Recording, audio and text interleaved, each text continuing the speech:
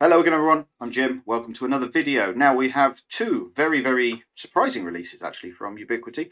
One of them's very much a surprise because it appears they're finally listening to their audience. You can see it in front of you. This is the G4 Doorbell Professional PoE kit. Now, this from the front may look like a normal G4 Doorbell Pro, but it is not. This is a Doorbell Pro with Chime where both of them can be PoE powered directly. The chime obviously previously was Wi-Fi, which needed to be plugged into a power socket somewhere, and obviously the Doorbell Pro was USB-C powered or AC powered. This, however, is purely PoE powered. So again, very much the same as the normal Doorbell Pro, except without the ability to be powered via an existing doorbell uh, transformer or via USB-C. So what differences does this have above and beyond? Well, if we scroll down and have a look at what is in the box, uh, you will see that we have the standard doorbell sort of looking device, but on the back of that, there is a RJ45 port for plugging in a PoE network cable.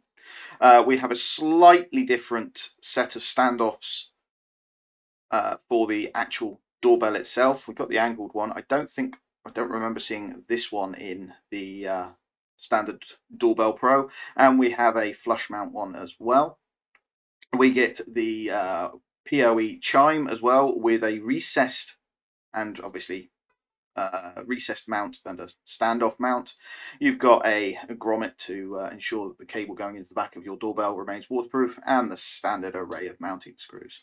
Now what this means is you now have the ability to power a G4 Doorbell Pro via PoE and the chime, as you can see here, some pictures of it being recessed in, which has been asked for for quite some time. In fact, since the doorbell launch, the standard G4 doorbell launch, people have been asking for PoE way uh, powered versions.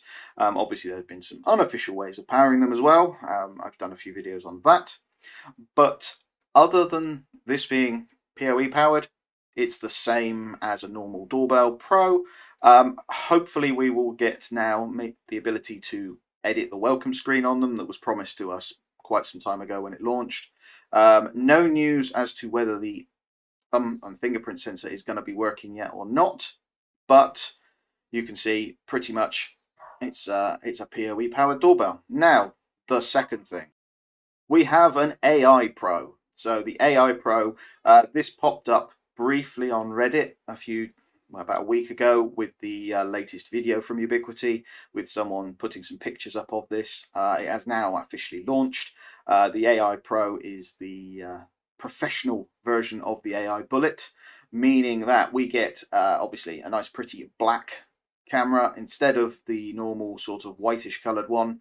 Uh, we gain a 4K 8 megapixel lens in this above the 2K video resolution of the normal AI bullet. Uh, we get optical zooms. We get three times optical zoom, and then we get the uh, we get a two-way audio. But we also gain the advanced AI, which means that this camera has the ability to not only detect people um, and obviously cars, but it can read not license plates and anything else that Ubiquiti will be adding into the range. Much and above that, it's pretty much the same as a normal Pro. I mean, it's been IK04 resisted, uh, rated, which means it can withstand a bit of, of abuse. But above and beyond that, it's uh, we got IP65 rating again, pretty much the same as every other Pro camera, but the license plate recognition is a game changer in this level of camera because obviously it was missing from the G4 Pro and the G3 Pro was uh, never that much of a great camera to start with. So, new cameras from Ubiquiti, Give us a uh, comment on uh, your thoughts on it down below. Um, but uh, there you go. Some nice shiny new toys from Ubiquiti for people to uh, start having a look at. If I get hold of one, I'll do a review. Anyway, thank you for watching. Um, please feel free to like, share, comment as ever, and subscribe. Uh, and I will catch you again in the next one.